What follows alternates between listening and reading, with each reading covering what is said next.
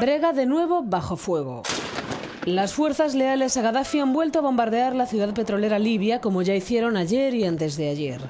Así lo relatan testigos sobre el terreno. El objetivo eran, al parecer, los arsenales de municiones de los rebeldes que controlan el este del país. Brega es clave para el suministro eléctrico de la zona. Además, es la ruta de acceso a la propia Benghazi, corazón de la revuelta. Los opositores siguen desafiando al régimen y repeliendo los sucesivos ataques.